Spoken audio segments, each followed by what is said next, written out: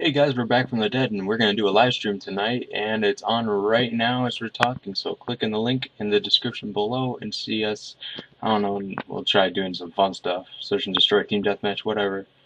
Uh, just click on it and enjoy the live stream.